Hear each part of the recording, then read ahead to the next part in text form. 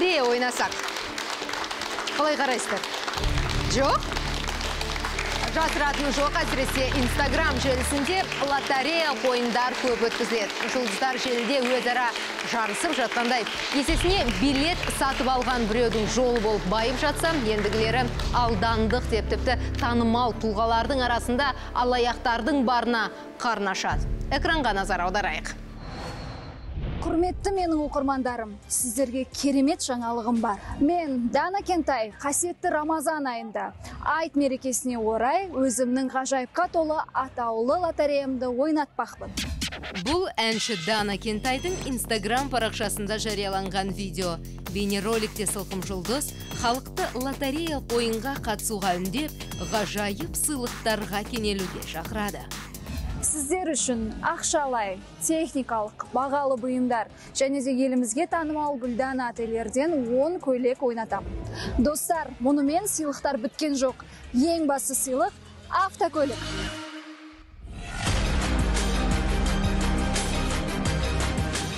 Әншінің әрбір сөзін ұйып тыңдап данаға құлай сенгендіктен адамдар лотереяға ақшасын аямайды.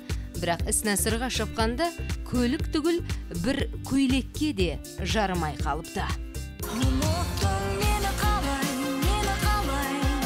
Бұл жөнінде данаға енді уайымдаудың қажеті жоқ. Лотерея сатып алғандар оны ұмыта алмай жүр. Ақшамызды қайтармаса сотқа береміз дейді алданғандар. Әнші Дана Кентайдың байқауына қатысып, оңбай алданып қалған деген кейіпкеріміз бар. Бүгін Астарлы хат студиясына келіп отырған Нұрлан Түркістанов мырзаны қарсы алайық. Нұрлан, сәлеметсіз бе? Қош келіпсіз. Төрлетіңіз. Билетті қашан сатып алған едіңіз? Рамазан айында, сол маусым, маусым айында. Маусым айынан бері, Иә. осы уақытқа дейін ешқандай ұтыс ойын болған жоқ Жоқ, сонда? ұтыс ойын болған жоқ. Ақшаңыз қайтарып берді ма? Жоқ, қайтарып берген жоқ. Енді Әні береміз, кешірім сұрады беремін. ма? Жоқ, звондап нетсек, әні берем, міне берем. дейді. Мынау Дана Жоқ. Кентайдың өзімен хабарластыңыз ба? Не болды екен Енді ол кісінің өзімен хабарласа алмаймыз ғой, ол кісіге. Телефон номері де жоқ, оны звондай алмаймыз. Ендеше Дана Кентайдың өзі бұл туралы не айтқанын бірге тыңдайықшы, иә? Қазір экранға назар аударайық, қымбатты көрермендер. Мен жаңағыдай инстаграмға дайректқа жазып жатады ана ханым жаңағы ақшағын не істейміз ә, лотерея болмады ғой дегендердің барлығының хаттарын жіберіп отырмын жеңісбекке жеңісбек міне міне деп маған ә, телефон арқылы жіберген ә, ақшаны не қылып отыр Қараңыз, Дана Кентайдың айтуынша, бір Жеңісбек деген көмекшісі арқылы сізге ақшаны беріпті. Жоқ, бермеді. Өтірік айтып тұр ма сонда? Иә, өтірік айтады. Берсе берді деп айтатын едік қой, жоқ қой. Шын мәнінде сіз сияқты алданғандар көп пе негізі? Көп, ауыл, ауылда бар. Ауылда қанша 15 адам болып алып едіңіздер? 15 шақты. Аха, 15 шақты адам. Қымбат сарапшылар, сіздер де Дана Кентайды бәлкім білетін шығарсыздар. Оның алаяқ болуы мүмкін бе? билет бағасы қанша екен қаншаға 5 мың. бес мың 5 мың. арадағы адамнан болуы мүмкін жоқ енді бұл кісі өзі жазбаған да ғой Жоқ, Жеңісбек деген телефонда хабарласқан ғой звондаған Иә, сол жігіт, иә, қайтарып береміз дейді. Енді қайтарып берсе болмай мен, жоқ қой. бұл кісі жазса да жазбаса да шарт қой қайтарып беруге Иә, ол жазу емес шарт емес ол жазу сізге онда жасаған өткізген адам Иә. өзі айту керек осындай уақытта болмай қалды қайтарамыз счетымды жібер деп Жеңісбек деген кім? Бұл сауалды біз Дананың өзіне де қойған болатынбыз. Қазір экранға назар аударсақ. осы шамамен 4-5 ай бұрын жарты жылдай болды Ә, жеңісбек деген жігіт бар араласып жүргенімізге бір жылдай уақыт болды бірақ ол маған менде жұмыс жасамайды айлыққа жұмыс жасамайды. Тек қана ә, жаңағыдай қалай айтсам болады? иә ол жаңағыдай басында маған как дизайнер ретінде киімдер ә, жаңағыдай ұсынып келді басында. Сонымен ә, менің бейнебаяндарым болсын жаңағы түсірілімдерім болсын сол кезде жаңағы киім жағынан болсын әйтеуір менің ана инстаграмдағы жарнамаларым болады ғой. Сол жағынан сөйлесіп келісіп солай ә, өзінше көмектесіп жүрген солай сыйласып араласып жүрген. Былай айтқанда досым демей ақ қояйын. Енді өзімнен жасы бірнеше есе кіші інім сияқты. Бұл жерде дана ханымның мүлдем кінәсі жоқ та ол бірақ енді ол бүкіл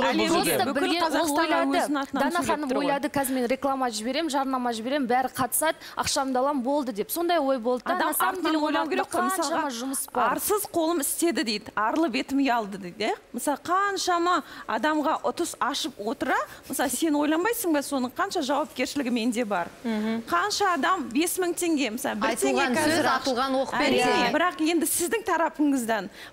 мысалға жарайды отыз мың отыз пайызы көмекке берілсін бес мың теңгенің иә? Ар жағындағы бір үш мың жеті жүз теңгесі ұтысқа тігілсін. Енді сіз не ұтқыңыз келді? Мен мотивацияны түсінгім келіп тұр Машина да ғой. сол үш мың теңгемен сұмдық көлікке ие боламын дедіңіз ба? Менікі жаңағы нұрбектайға көмек болсын. Ол отыз пайыз. ішіне не керек емес. екінші Енді жағынан бір бағалы сыйлықты ұтып қалсам деген бір үміт болған сіз шығар иә мысалға бар ғой бес мың теңге билет алдыңыз ғой? Иә. енді ар жағыңызда не ұтып кетсем ә, билет алсам ұтып кетемін деген ниетіңіз бар негізгі мақсат ниет жоқ. Сіздер өзіңіз мысалға лотерея ойнамаймын деп айта аласыз ба? Асқар өміріңде бір лотерея алмағансың ба? Айтшы лотерея ойнап көрмеген ешқашан. Мынандай кішкентай бір простой телефон алғам ұтып алғам. Бірақ Дина он мың теңгеге билет алдым да екі жарым теңге телефон алдым. Ендеше қымбатты сарапшылар бүгін біздің студиямызға сол әңгімемізге арқау болып жатқан жеңісбек мырзаның өзі келіпті. Шақырайық. Жеңісбек сәлеметсің бе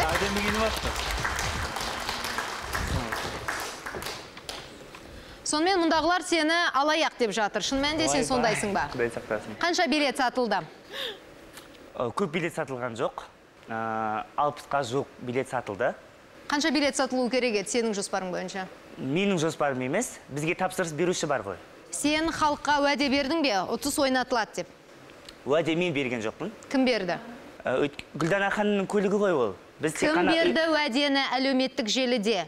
Кім халықты билет сатып алуға үндеді? Кім? Танымал әнші. Танымал әнші иә. Гүлдана бірақ бұл жерде былай да ә, қазір мен ә, өзімнің ешқандай абыройым не болмаса басқа нәрсе үшін келген жоқпын. Алдымен ең бірінші орында дананың абыройы үшін келдім. Өйткені ол әнші ғой. Әнші дана кентай лотерея қатысушыларынан ақша жинап ұтыстың орнына дубайға барып демалып келгені рас па? Жарнамадан соң білетін боламыз. Мен қазір де ә, дина ханым ұрсысып тартысуға келіп отқан жоқпын. Бұл кісіні жақсы көремін. Данамен бірге дубайға барып келдің ғой. Иә бірге бардық. Сол себепті мен алдымен дананың абыройы үшін келдім. Сосын осының барлығын ашық айту үшін келдім.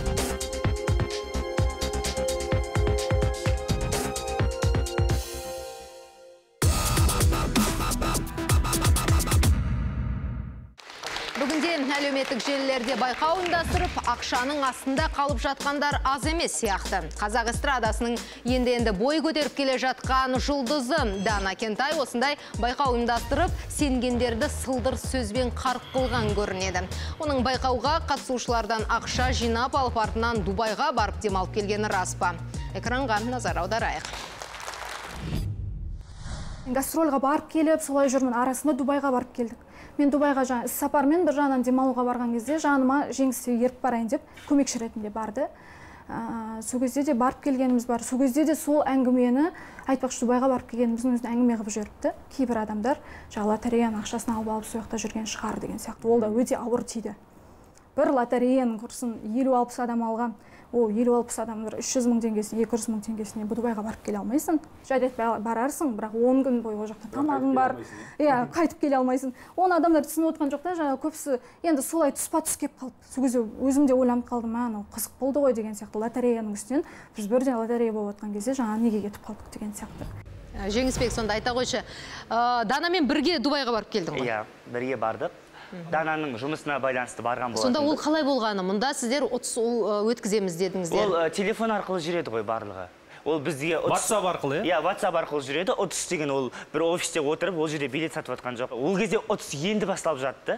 Билеттер тіпті мүлдем сатылған жоқ. Сіздердің дубайға баруларыңызбен мынау ұтыс ойынның бір байланысы бар ма жоқ па? Жоқ мүлдем жоқ. Сіздерден осы ұтыстан қанша ақша түскенін білмеймін. Айта аласың ба? Қанша билет сатылды? Мен саған бағдарламаның басында осы сауалды билет қойдым. сатылды. Ә, полностью 40 билеттің ақшасы жіберілді. 18 билет әлі бар. Жіберілген жоқ. Сонымен жеңісбек сіздердің ойларыңызша ұтыс қалай өтуі тиіс еді? Сіздер белгілі бір табысқа кенелуіңіз тиіс еді ғой иә? айтамын иә? Сөзімді аяқтап алайыншы. Ұсыныстың жалпы бастау несін айтайын да? Өйткені қазір ойлап жатыр ғой біз дана екеуміз бардық әкел беріңіз біз көлігіңізді ойнатып берейік деп ойлап жатыр халық. Олай емес. Бізге гүлдана ханым хабарласты. Мен бардым ол кісінің жұмыс орнына өйткені гүлдана ханымды оған дейін танимыз. Сонда бұл ұтыс ойында біз білмейтін үшінші жақ бар болып тұрғаны ма? Тапсырыс беруші осы кісі. Жоқ иә. тапсырыс беруші бар бізге. Яғни бізге сонда сендер орындаушысыңдар ма біз екеулері орындаушымыз Иә, әрине. біз лотерея көлік біздікі емес. Ә, көлікті коммерциялық жолмен де сатуға болады. Не үшін оны лотерея ойнатып? Ол менің көлігім емес. Ол тапсырыс әлде беруші. лотерея инстаграм арқылы табыс көбірек. Жоқ ханым тапсырыс берушіден сұраңыз оны ол менің деп емес қой. енді сен тегін жұмыс істемейсің ғой. Мен енді ақымды алып отырмын сол үшін жұмыс жасап отырмын ғой. Қандай ақы туралы қазір әңгіме мен предоплата алдым жүз мың теңге ақша алдым. Ә, дана 200 мың теңге жарнамасын алды. Яғни предоплата. Қазір жарнама ондай ақы тұрмайды. Сол себепті ол ақы тек қана предоплата бұл жерде. Яғни үстем ақы алдын ала беріледі. Бірақ сайып келген кезде билеттеріңіз өтпей қалды. Өтпей қалды өтпей. Ол жерде неге өтпеуіне де себеп бар. Біз лотерея бастап жатқан уақытта сет айырылды. Халық бір апта бойына білесіз ғой Байланыс Э, қиындап кетті. байланыс қиындап интернетке. Бір апта бойына сондай қиын жағдай болды. Осы туралы дана да бізге ақпарат берген еді. Давайте көріп тыңдайық. Одан кейін жаңағы бізде елімізде жаңағыдай жағдайлар бола бастады ғой. Солған сә- сәйкес болып қалды да. Біресе интернет жасамай қалды біресе жаңағыдай ә, көтеріліс болып кетті алматы астанада. Сондай жағдайларда біз сала алмаймыз ешнәрсе. Одан кейін арыстың жағдайы болды. Сондай уақытта инстаграмға ешнәрсе сала алмаймыз ол уақытта. Бірақ ол уақытта ешнәрсе салған жоқпын. Ол кезде маған да ақша берілген жоқ деген сияқты мен салған уақытта ғана ақша беріледі да болды. Мен салған по факту дейді ғой. Саласың ақша беріледі болды деген сияқты осылай. А, одан кейін солай тоқтап қалды. Сосын жаңа дана осындай жағдай болып жатыр өзің байқап жатрсың ғой біз басқа блогерді тағы да алатын шығармыз деген кезде жаңа рекламировать ету үшін жарнаманы тағы да басқа блогерға жасататын шығармыз деген кезде мен қарсы болған жоқпын. Билет сатып беремін деп ә, бір таныс ә, қыз бар организатор. Мен есімін айтпаймын оған өзім кінәлімін. Себебі мен ә, қаражат бердім. Оның жұмысы үшін сонда ит құйрығын жұмсайды демекші сен тағы бір көмекшіні жалдадың енді ғой иә? билет өтпей жатқаннан кейін билет өтпей жатқаннан кейін андай амал іздейсіз ғой енді алдын ала ақшасын төлем жасайсыз бірақ соңында ақша бер- берілмейді билет өтпейді. Иә солай солай. Бізде дәл сондай ситуацияда қалып тұр. Ақшамызды отырасың ғой. Иә ақшамызды алдық бірақ сәтсіз аяқтап қалды. Дәл сол сияқты ақшамды бердім лақтырып кетті. Жаңағы ана кісінің билеті ақшасы қайтпаған ғой сол. 18 адамның ішінде болып тұр ғой. бар ғой 18 адамның ішінде бар. 18 адамның ішінде сіз болып тұрсыз ғой сізге енді қайтарады. Алдынан келсе алпыстағы қарияның құнын кешкен Иә, мойындаған ерлік қой. сол себепті 18 адамның ақысын мен қалтама салып тыныш үйде ұйықтап ас ішетін жайым жоқ. Ондай ниетім де жоқ. Осы айдың ортасына дейін мен айтқан болатынмын қатысушылардың барлығына. Бұл кісі естіді ма естімеді ма? Ә, ақыларыңызды қайтарамын міндетті түрде.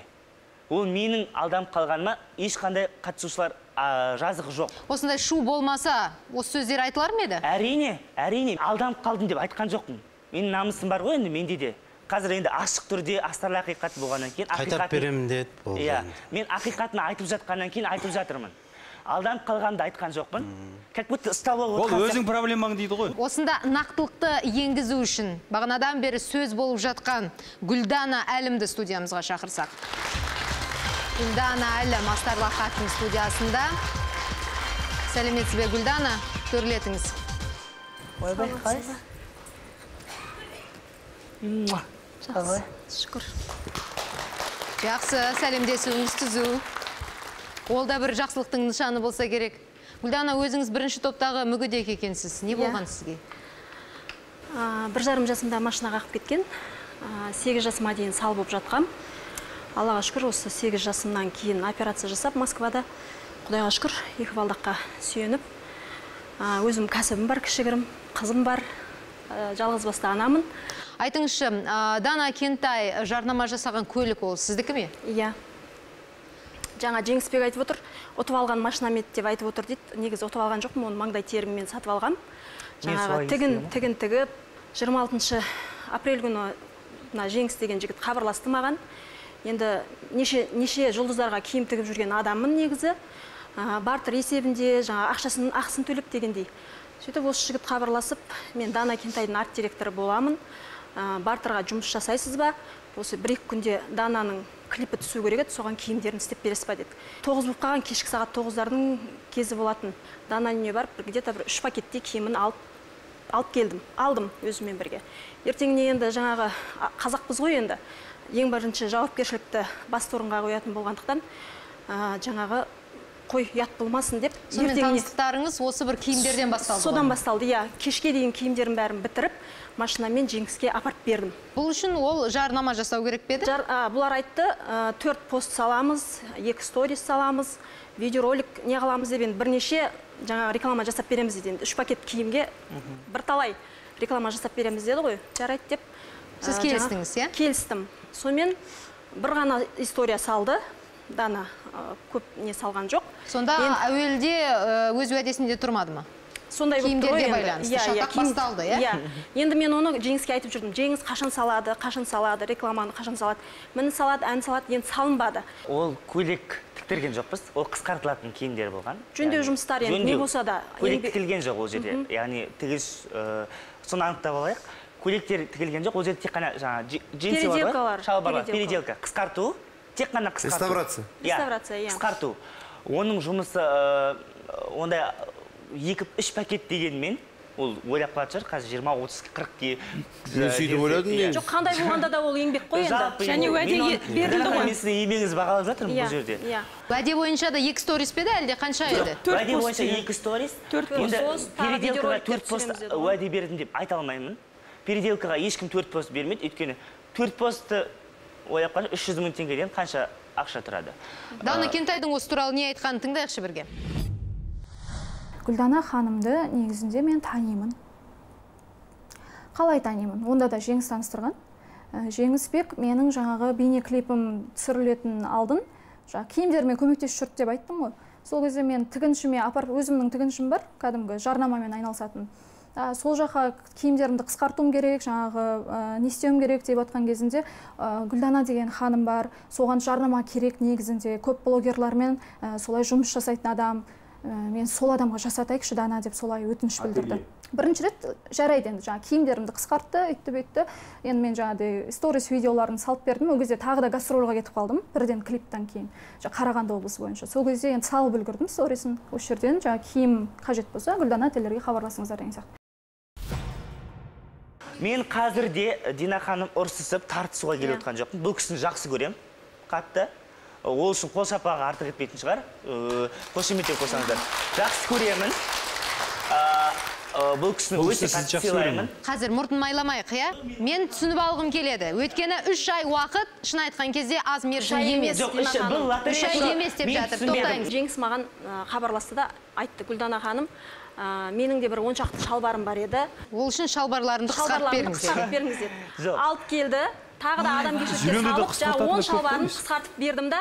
Ертең сол моментте үшеуін қысқартып бердім. Қалғанын кейін алып кетті. Гүлдана Содан- сөзіңізді бөлейін. Ал сізде осы бір тұста бір күдік болған жоқ па? Осындай ауқатты осыншама танысы бар адам не үшін шалбарын қысқарту үшін осындай бір керемет ұсыныстар жасайды деген. Ойым болған жоқ шынымды айтайын. мен жоқ. негізі толып жатыр ғой қысқартады мен негізі Енді қатты мың сенгіш теңгеден адаммын да енді осы соңы болатын шығар деп тұрмын. Мен даже мына туысқандарым да айтып отыр сен қырыққа келгенше әлі алданып жүрсің ба деп та. Енді ондай болған жоқ. Адамның түріне қарап жаңа ойламайсың ғой ішінде не жатқанын да мәселен. жүзі жылы болып көрінді Иә, ғой иә иә енді сөйтіп бұл кісі сосын ана өрнек деген ә, ненің мен осыларды әншілерге киіндіріп киімдерінің бәрін мен реклама жасатып ол кісілердің жұмыстарының жүруіне көмектестім. Мен сізді бренд қыламын сізді короче үйтемін бүйтемін сөйтемін деп сөйтті. Шалбарымды қысқарттым бірақ мен шалбар мен нақты санын білмеймін. Ондай үш пакет шалбар емес тағы айтайын. Де- ондай оған замен деп айтқан жоқпын. Бірақ гүлдана ханымның сондай осы жағдайын көріп мен айттым менің қолымнан келгенше қолдау көрсетемін өйткені жаспыз ғой біз әлі. Ә, ана жер мына жерде Иә, жүрміз жас демекші Иә, жасың қаншада жасым жас әлі. Ә, сол себепті жасым жас дейді. Қаражаттың жоқтығынан емес. Сіз тағы да сегіз ә, көп болса үш мың теңгеге шығады переделкалар. Жарайды енді нақты мәселеге келейікші. Осы ұтыс осы көлік және осы байқау. Иә.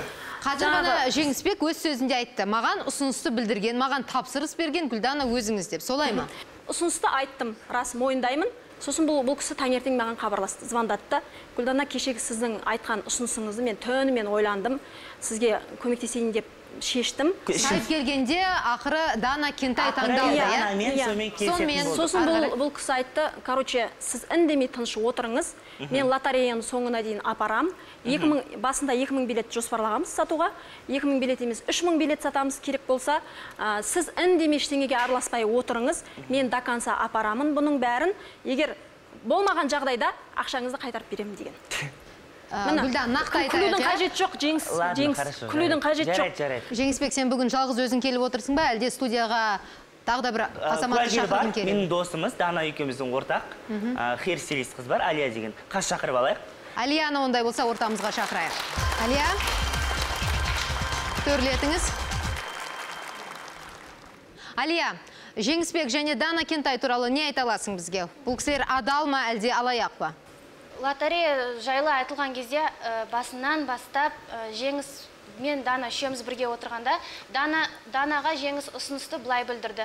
Осындай спонсорлар болады ә, бірақ сенің оған ешқандай қатысың жоқ ештеңеге араласпа тек сен лотереяның келбеті ғанасың. Ә, сен осы лотереяны тек реклама жасап бер деді. Гүлдана мына бір мәселеге тоқталайықшы. Сайып келгенде ұтыстан кейін кім кімге қандай уәде берді? Сізге қанша ақша табысталуы тиіс болатын? 10 миллион теңге жиналу керек болатын. 1 миллион дана алам деді. Ә, үш миллионы где то жаңағы кімге ә, нұрбекке берілу керек болды. И ал қалғанын мен алатын көлігі мынау коммерциялық сатылымда бағасы қанша? Үш жарым миллион. Үш жарым миллион. Демек сіздер оны 10 миллионға сатқыларыңыз келді. Иә. 10 миллионнан сіздер де сіз де барлықтарыңыз бір пайда пайда көргілеріңіз келді. Ал сен жеңісбек қанша ақша бермек едің сайып келген кезде? Ә, общий жарнамаға 300 мың теңге ақша алынды. Гүлдана ханым ә, 15 мың маған теңге контрактіге деп алды Иә. контракт істелген жоқ. Істелген ақшаны жоқ. сіз бердіңіз бе сонда Иә. шығыныңды каспи голдқа аудардым. Машинамды рекламаға данамен түсіреміз деп мініп алып кетті бір күнге. Бір күнге алып кетті да енді мен машинаны жетіскенінен алған жоқпын мен понт үшін алған жоқпын. Ә, міне қолым бәрі мозоль қарап тұрсаңыздар балдақпен жүремін көріп тұрсыздар ғой өздеріңіз. Мен қызымды сабағына тасу үшін өзімнің қажеттілігім үшін оны маңдай теріммен алдым ол машинаны да. Енді пендеміз ғой енді жаңағы ойлайсың ғой ә, екі есе пайдасына елдің бәрі ойнатып жатыр лотереяны ойнатайық. Сосын негізі мен биік көлік мінгім келді ол рас. Бір күнге көлігімді алып кетті да он күн мінді ке- көлігімді. Он күн бойы мен жеңіс сөзімді хотя бір бөлмеңіз. апта десеңізші. бір апта Он емес ровно он күн міндіңіз. Он күн көлігімді мініп мен беріп дейін бардым звондап та е жеңіс сен түсінесің ба түсінбейсің ба? Менің аяғым бол қолымның бәрі мозоль болып кетті. Сіз балдақпен жүресіз. иә сенің шаруаңды тындырып жатырмын сенің шаруаңды тындырып жатырмын деп ә, қайтаға мен бұл кісінің үйін білетін едім бір рет бір алып кеткен болатынмын. Сосын запас кілтім болды да такси ұстап уже жүрегім 10 күн жүрегім бойы сізге көлік қайтарылмады. Иә сосын мен запас кілтімді алдым да үйіне бардым есігінің алдында тұр екен кілтімді ашып ішіне отырып алдым. Шегелек осы жерден басталған ғой. звондай бастадым. Звондадым бұған. Көтермейді телефонын арыз звондаймын ватсапқа жазамын тым тырыс алмайды. Бұл кісі артынша звондады. Қай жақтасыз деп. Мен айттым келіп машинаның ішінде отырмын. Ойбай қалай мініп алдыңыз? Екі запас кілтім болды ғой сонымен мініп алдым. Бұл кісі штрафқа түскен оны да өзім төледім. Короче енді айта берсең әңгіме көп. Ә, қаралау үшін отырған жоқпын. Жеңіс жеңісбек мойындасайшы одан да. Ал енді жоқ не затты Сол- мойындайды сол, факту, енді қараңыздар да? неге күн мініп аласың біреудің Иә, көлігін? Неменеге мініп аласың? билет енді жауап берсін иә гүлдана жауап берсін. Иә, жарнама мені қазір қаралап мына жерде айта берсеңіздер мен студиядан шығып кетемін. Ешкім қаралап 100% тұрған жоқ. Жеңісбек нақты жауап берейік иә? Мынау мен көлік нақты жауап мәселесі. берейін. Маған сіздер үндемей әлі менің сөзімді тыңдамай ешқайсыңыз артық әңгіме айтпаңыздар. Сіз де. Түсіндіңіз ғой? Все вам это сказано. Енді тыңдаңыздар. Көліктің жарнамасы үшін видео түсірілуге көлік алынды. Бірақ біздің видеороликтің барлығы менің адамдарым болды. Бұл кісіні мүлдем араласқан жоқпын өйткені ұйымдастыру жұмыстарын өзім алғаннан кейін. Соған байланысты үш күн ысырылды. Он күн деген жала мен жүз пайыз айтамын данада данада біледі ол көлікті алғанды. Енді апарып бере салмайсыз. Иә. Бір апта деп енді айтасыз айтсын, ғой. енді тыңдаңыз. Енді әрине түсірілім барысында белгілі бір осындай ақаулар болуы мүмкін. менің сонша жұмыс жасағанымды жоққа шығарып он күн көлігімді алып жатып алды деген ол жеңісбек мырза қанша күн көлікті алдыңыз? Көлікті түсіру үшін бір сағат керек. осы тұста сөздеріңізді бөлейікші. Көлік туралы ә, бізге дана кентайдың да айтқан өз ақиқаты бар екен. Тыңдайық. Бұл жерде маған ұнамаған нәрсе ең бірінші жаңа гүлдана деген ханымның машинасы болып шықты ғой аяғында. Соны білген кезде мен кәдімгідей түсініксіз күйде болдым. Гүлдана ханымды негізінде мен танимын. Лотерея бітетін алдың бір ауыз хабарласса да маған мысалы. Дана лотереяны ойнатқан мен едім машина менікі еді осындай болып қалды. Көріп отырсың ғой енді. Соны қалай қылсақ болады деп менімен ақылдасып хабарласса мен де енді адаммын ғой тыңдаймын ғой жоқ демеймін ғой мысалы да былай қарасаң жеңіс айттырған жоқ маған оны. Данаға айтпаңыз. дана келген кезде үндемеңіз лото туралы аузыңызды ашпаңыз деді айтшы. жарайды деп мен айтқан жоқпын. Жеңісбек сонда қазір маған нақты айтшы. Сенің гүлдан алдыңдағы қарызың қанша? Жарнамаға берілген ақы 300 мың теңге үш жүз он бес мың деңізші 315 мың теңгедей ладно. ақша хорошо мен оны өзім айттым гүлдана ханым жарнамаңыз провал болды мен данадан қайтып алуға менің бетім жоқ дедім данадан қайтып сұрамаймын мен байқауды ұйымдастыруға себепкер болған гүлдананың айтуынша әнші дана кентай сал ауруына шалдыққан баланың атын жамылып әлеуметтік желіде байқау ұйымдастырған бірақ нәтижесінде көлік иесі де ұтысқа қатысқан азаматтар да сан соғып қалдық дейді тақырыпты жарнамадан соң жалғастыратын боламыз. Миллион теңгеден ойбай ол қайдан түскен ақша дедім угрожение сатып неше түрлі адам звондап мен сені үйтем мен сені бүйтем мен сенімен басқаша сөйлесем ә, жасыңа жағдайыңа қарамаймын деп сөйтіп айтты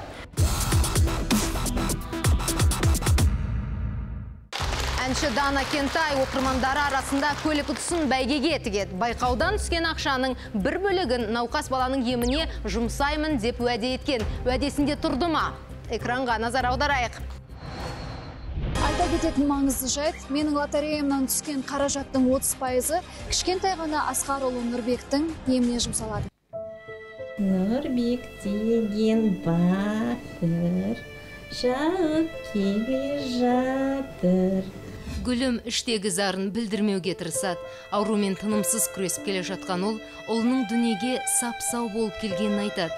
Екі айында нәрестенің бас сүйегінің қысымы көтеріліп, ми жасушаларына қатты зақым келген екен. содан кейін дцп деген диагноз қойылды ол кезде дцп ның кішкентай кезінде жеңіл түрі болатын Бірақ уақыт өте дерттен дей берген. Дәрігерлер дәрменсіз, тек дәр-дәрмектің күшіне сеніп отыр. дәрілер өте шет елден ә, германия мемлекетінен алдырамыз және чехиядан аламыз потому Нұрбектің жасы жетіде. Десе де дәрігерлер оның дамуы жеті айлық баланыкіндей дейді. Десе де анасы ұлының тұрып кетуінен бір сәтте күдер үзген емес. Оның әрбір қимылы мен дыбыс шығарғанын жақсылыққа балайды.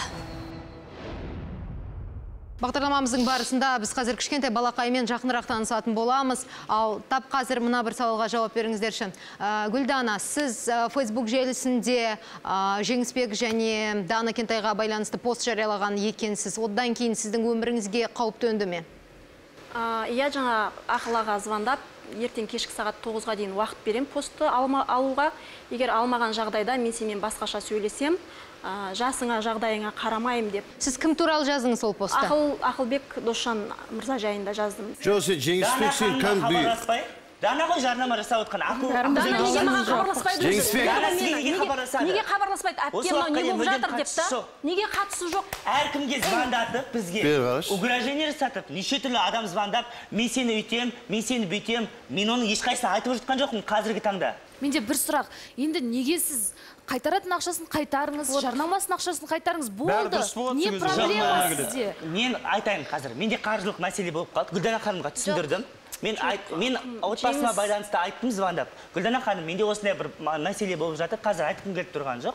Нотариуске барып сол жерде берейін дедім ақшаны да. Сөйтіп едім дан ә, кім ақалбек аға айтты деді. Қазір каспий голдпен жібересіз чек дәлел болады ғой. Не қыласың нотариуске барып ай- барып деп айтты ақылбек аға дегеннен кейін. Жоқ, мен тот же момент тот же момент мен каспий голдына лақтырып жібердім. За контракт деп 15 мың теңгені бір күн бұрын жібердім үш жүз мың теңгені Қазір сіздер продюсер туралы да сөз қозғап жатырсыздар. Ол кісінің бұл іске жалпы қатысы бар ма, жоқ па, оны нақтылап анықтау үшін біздің редакторлар Ақылбек мырзамен тілдескен болатын.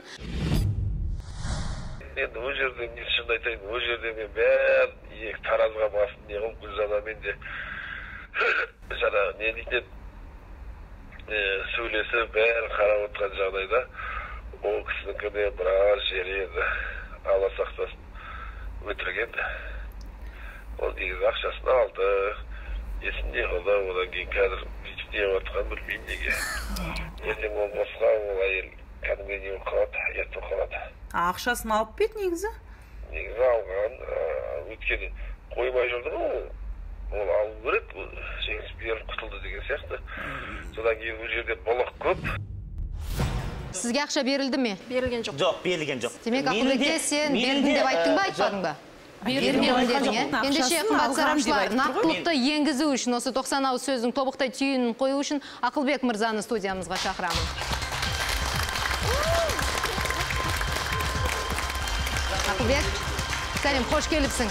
Өзің білесің қай жақта? Менің жанымда тұрсаң да болады. Ақылбек мұнда отырыңызшы.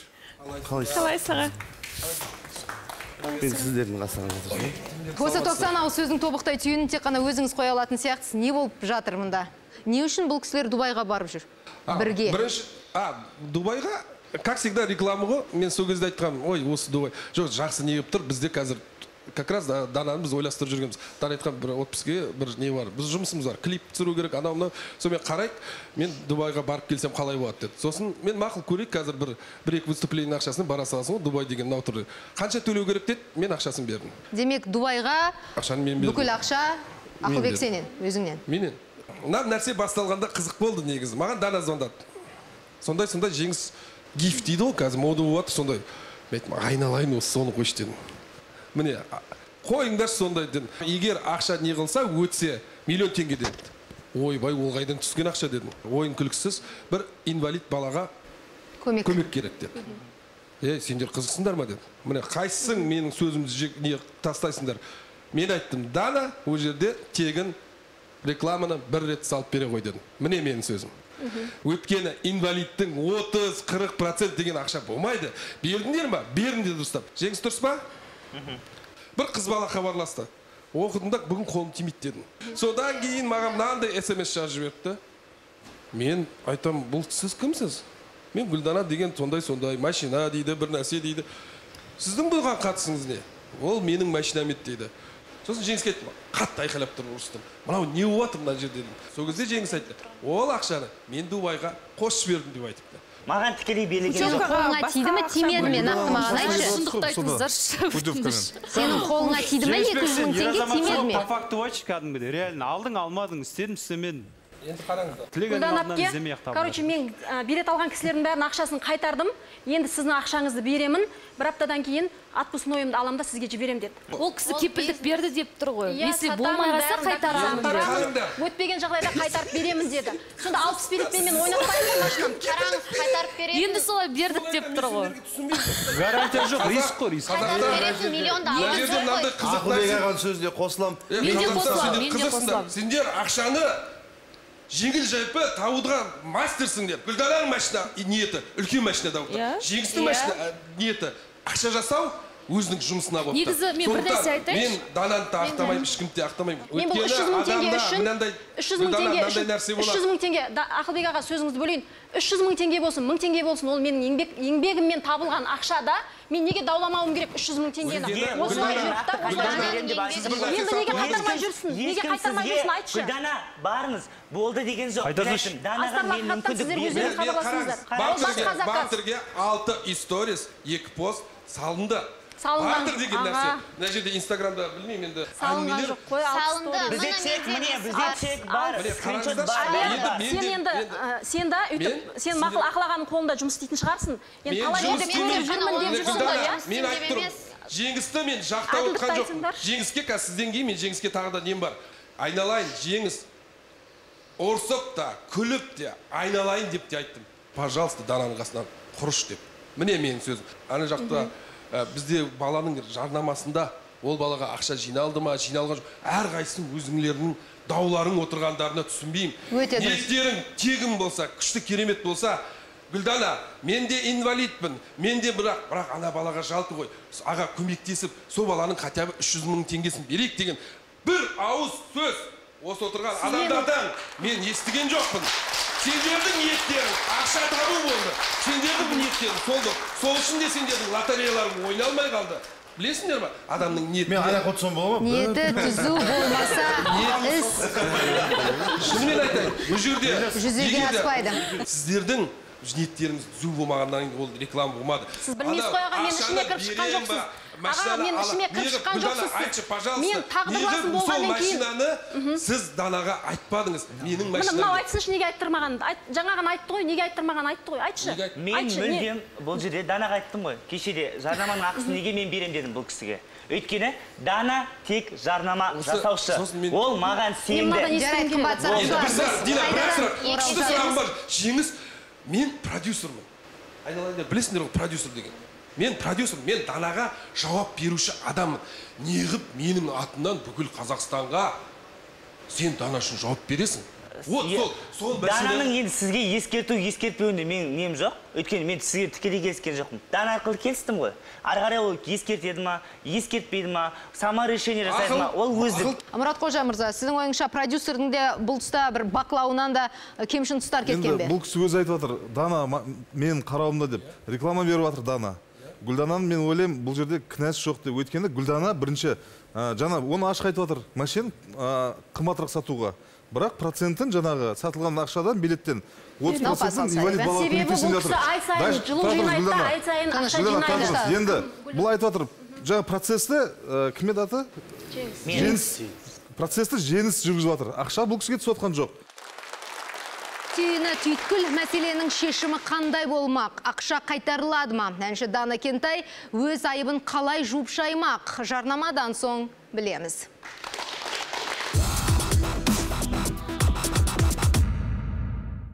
Белгілі әнші Дана Кентай әлеуметтік желіде оқырмандар үшін көлікті тұсқа қояды. Бірақ темір тұлпар оған тиесілі емес екен. Байқау үшін оқырмандардан ақша жиналған, бірақ нәтижесінде көлік ұтысы да бағалы сыйлықтар да ойнатылмады. Жиналған ақша қайда? Бүгінгі тақырыбымыз әлеуметтік желідегі байқаулардан қалтасы қалыңдаған алаяқ жұлдыздар мен көп тиынсыз қалған сенгіш халық жайында болып жатыр. Бұл астарлы ақиқат және біз жалғастырамыз.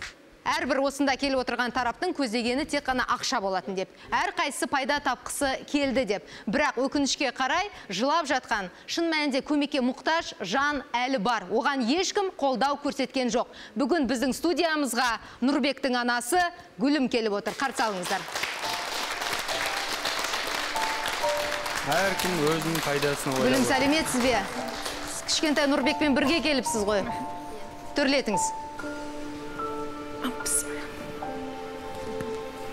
Жеңіс Нұрбек қазір бізді ести ме? естиді бірақ көрмейміз Көрмейді? Бірақ қазір сіздің осында келіп жатқаныңызды сезіп жатқан шығар. Жасы қаншада? жеті жастамыз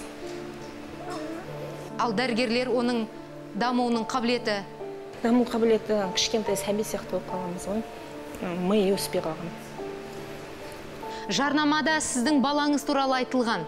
Неліктен? Сіз келісіміңізді бердіңіз бе жалпы? Жарнамада нұрбектай жайлы айтылған иә бо- болған дейін де гүлдана ханым бізге ай сайын нұрбекке көмек беріп тұратын кісілердің бірі қайырымдылық жасап өйткені біз ай сайын әлеуметтік желіде жинақ жинап отырамыз өзіміз баланың дәрісіне жай тамақ ішпейді арнайы тамақ бәрін шетелден тапсырыспен аламыз Айтыңызшы, осы ұтыстан кейін сізге қандай көмек көрсетіледі деді? Кім сізге уәдені берді? Ұсыныс гүлдана ханым маған осындай ә, хабарласып айтты гүлім осылай әр ә, күн сайын 500 теңге 1000 теңге 200 теңге деп ә, жинап жатпай осы менің көлігімді отызға қойып осындай бірнеше миллиондап жинасақ ол сендерге бірнеше айға азық болар еді ғой деді. Басты ниетім сол. Басты ниет сол болды. Дана Кентай, мынау Жеңісбек, Ақылбек мырзалар туралы естулеріңіз бар ма? мен дана кентайды шынымды айтсам мен ол кісіні өзім естімеппін мен маған қарағанда менің ұлдарым жастан не екен ол кісі мынандай кинода түседі мынандай кинода түседі жарнамада сіздің ұлыңыз туралы ол айтып тұр. Жеке келіп танысқан жоқ па? жеке келісіп танысады деп ә, гүлдана ханым хабарласты маған міне жеңісбек менің көлігімді мініп кетті сіздерді видеоға барып түсіреді деп айтты. Біз қарызданып қалған дүкеннен стол жасап енді сондай кісі келейін деп жатыр ғой деп күттік ол кісіні. Бірақ келмеді. Гүлім, сізден осы отырған азаматтардың бірі болса да келіп кешірім сұрады ма? Ұтыс болмайды дегенді сіз қашан естідіңіз? Кімнен естідіңіз? Билет алған кісілер іздей бастады. Неге парақша бұзылды? Сіз хабардарсыз ба деп. Иә. бірақ мен шын мәнінде ол кісілердің бәріне түсіндіріп айттым. Менің бұл жерде ешқандай мен ұйымдастырушы мен емеспін. Сайып келгенде сізге бір тиын да берілген жоқ. Ешқандай тек қана балаңыздың суреті осы жарнамада пайдаланды. Иә. Осы жөнінде біз дана кентайдың өзінен сұраған едік. Экранға назар аударсақ. Лотерея аяқталғаннан кейін а, болмайды дегеннен кейін ең бірінші мен оқырмандардың ақшасы қайтарылды ма деп сұрадым. Екінші сұрақ болғаны менде нұрбектайдың мамасына қалай қабылдады ол нәрсені деп ойладым. Өйткені адам үміттеніп отқан кезде ақша жоқ. Бір өте ауыр нәрсе ғой енді мен оны да жеңісбек екеуміз негізі ойладық. Ам, сосын мынадай нәрсе болды. Сол кезде мен шілде айларында осы менің концертім ұйымдастырылады. Алматы бойынша деп сол кезде ә, жаңа жоспар құрып жатқан болатын. Сол кезде жеңісбек екеуміздің бірінші ойымыз сол, сол болды. Егер де мен продюсерімнен сұрап көрсем мына жерде лотереямыз болмай қалды ә, нұрбектайға сондай көмек болса ә, біз жаңа алматы облысындағы концертті сол нұрбектайдың еміне жіберетін болсақ деген сияқты. Оны ойласып қойдық өзара. Ақылбек сонымен сайып келгенде болған іс болды. Енді тап қазір осындай жағдай болып тұр. Осы бағдарламадан кейін жеңісбек не істемекшісің сен? Бұйырса құдай қаласа ы, ар жағында жиырма шақты адам қалды ғой. Сол адамдар жиырма шақты Иә. адамға әлі ақша берілген берілген жоқ. жоқ. Мен бес мың айттым- теңге. Иә он сегіз мың теңге он сегіз адамға нақты. Мен айттым себебін түсіндіріп жаңа бағдарлама барысында. Ы, оның барлығы міндетті түрде қайтады. Мен міне Иә. бір кейіпкеріміз қазір осында Отыр. ақшасын тап қазір қайтарып бересің бе? Эфир бітсін. Біздің көзімізше өзім қазір менің мамам сыртта студияның сыртында. Ы, каспий го- енді бағдарлама ы, бағдарламасы сол кісінің телефонында картасында. Мынандай адамда бір қасиет жақсылық қасиет болса осы жерге келіп сол ақшаны дина ханымның қолына тапсырып кетсең мен саған сенер едім. Мен саған сенбеймін. Ол ақшаны қайтаратын ба қайтармайтын ба мен білмеймін. Өйткені бұл жерде өте лас нәрсе жатыр ақша деген. Шынымен егер сенің ниетің болса ә, 18 адам ә, бес 90 мың 90 мың теңге. Гүлдананың жаңағы ақшасын қайтаратын ба? 150 мың ба? 300 мың теңге. сонымен келіп осы программада әдемі кетуге әдемі костюмнің ішінде гүл тағып кетуіңе болатын еді. Сенде ондай да ниет жоқ. Сондықтан мен жеңіс айтайын. Мен саған айтайын. Сен оны істейсің ба істемейсің ба? Құдай біледі. Бірақ негізде осы жерде сөйтіп әдемілеп істеп кетуге болады ал бірақ қазіргі жағдайда білмеймін енді кім гүлдана қалай шешетін заңды түрде қалай шешетін ол енді үлкен мәселеге айналды. Заң жүзімен нақты тоқталып өтейікші жоқ заң жүзінде бұл жерде біз білуіміз керек ақша қайда қалды? Лотереяның билеті гүлдана сізге жетпеді ақша. Қайда ақша? Жеңісбекте. Лотереядан түскен елу сегіз билеттің қырық билеті кетті. Жоқ ақша қайда? Сізде болды ма ақша? Менде болды. Қайда қалған ақша? Қалған ақша менің иелігімде мен қайтарамын оны. Жоқ қайда кетті ол? Мен айттым барысында. қанша уақыт болды сізге сұрақ? Үш айдан қашан қайтарамын деп айтты? жарайды қымбат сарапшылар. Сонымен қайтарамын деп жеңісбек осы бағдарламадан кейін? Ертең ертең ертең. Қайтарар деген үмітіміз бар. Жеңісбек әрине. Сөз бересің бе? Әрине сіздің жаңағы бес мың теңге біреу үшін көп емес бірақ біреу үшін шын айтқан кезде бір ай бойы өмір сүретін үлкен ақша. Егер ол қайтармаған жағдайда ертең нұрлан сияқты мырзалар полицияға шағымданса шағымданады иә. бар ғой. Бар. яғни бұл азаматтық пен қылмыстың арасында жаңа ақша қандай оймен алынды неге қайда кетті ол ақша өзінің жаңағы керектігіне ж- заң жұмсаған бойынша болған егер ақша иә, қайтарылмаған жағдайда ол ұрлық деп саналады ғой. Жоқ, алаяқтық емес мүмкін. алаяқтық болуы мүмкін. Ауыр емес ә, жаңағы орта санатты қылмыстардың қатарына жатады алаяқтық бұл өйткені сумма көп емес. Сіздердің арқаңызда көп адамдар маған звондап маған звондайды да кәдімгідей. Өйткені дананың телефоны ей мал! дейді да маған.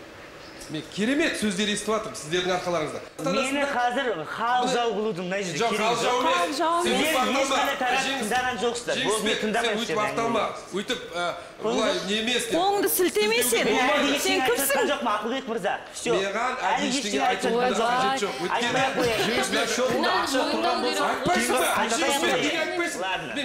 сен ғой қазір соны ғана до конца алып шығып тұрмын жарайды түсінікті. Сонымен дана кентай алдағы уақытта осы оқиғадан кейін тағы да лото ұтыстарын өткізеді ме? Осы сауалды біз өзіне қойған едік. Ол кезде тек қана менің адвокатыммен сөйлесетіндей қылып жасайтын Вот осы шығармын. дұрыс. егер жасайтын да болсам тек қана адвокат арқылы солар өздері заң түрінде сөйлесетіндей қылып Вот заң түрінде болу керек. екен. Дұрыс айтады. соншалықты жүйкем жұқарды осы нәрсе үшін қатты жүйкем жұқарды олай мүлдем болмаппын құдай ай неғып әнімді айтып концерттерімде жүре бермедім деп солай бармағымды тістеп қалдым сондықтан аузы күйген үрлеп жер деп қазақ бекер айтқан дана ханым сонымен дана кентайдың айтқаны осы бір сөздері барша жұлдыздарға сабақ болсын деп тілейміз. Ең басы кішкентай балақайға қазіргі таңда көмек қажет. Біздің бағдарламамызды көріп отырған азаматтар болса хабарласып қол ұшын созуына үлкен мүмкіндік бар. Студиямыздан талқыланған дау құқық қорғау органдарының назарына алынады деген үмітіміз бар. Өйткені аңқау елге арамза молда болғандар енді әлеуметтік желілерде есіп жүрген сияқты. Астарлы ақиқат бүгінгі шиеленісті өз назарында ұстайтын болады. Ал сіз қымбатты көрермендер оңай жерде нанның жатпайтынын ұмытпасаңыз 5000 теңгеге көлік алу мүмкін емес. Тіпті бұған сүйіп тыңдайтын әншіңіз кепіл беріп тұрса да ол да алаяқтың құрбаны болуы мүмкін. Айтқандай ақ атақты болғаннан кейін абыройлы болайық. Сау болыңыздар.